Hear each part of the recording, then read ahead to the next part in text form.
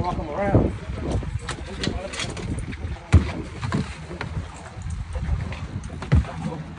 There we go. We got him in the open huh? We got him in the open now. mm. That's a snook, big ass snook. Damn.